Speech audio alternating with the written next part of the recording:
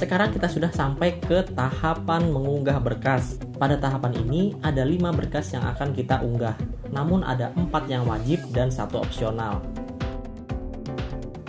Yang pertama adalah SKL atau surat keterangan lulus, bisa diisi dengan SKHU atau SKL. Lalu yang kedua, kartu keluarga.